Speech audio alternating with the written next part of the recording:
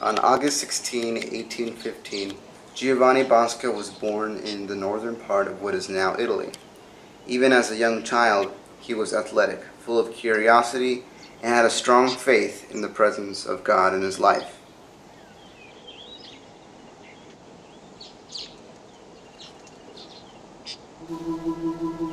As a young boy, John Bosco knew that he was called by God to share his joy and faith with others.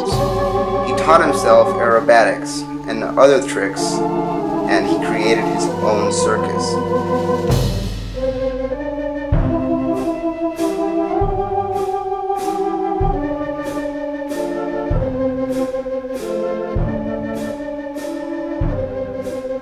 He charged an admission fee as a rosary. At his circuses, he would retell some of the sermons he heard at Mass.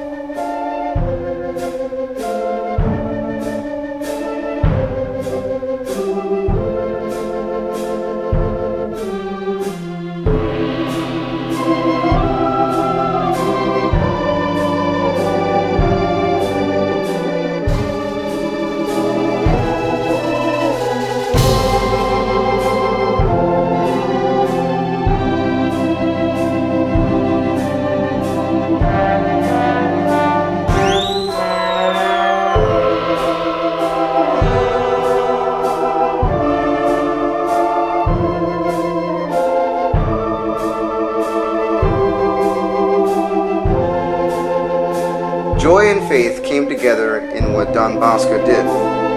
He found ways to attract others and share with them the joy he felt in his heart, a joy that was full of God's blessings.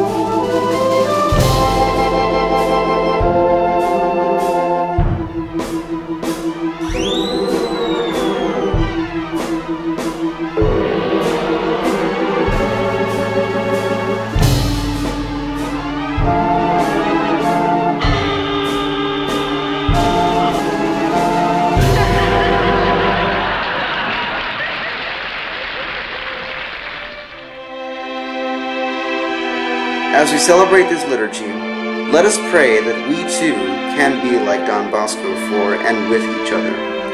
Let us pray that this year we will be filled with joy and gratitude to God.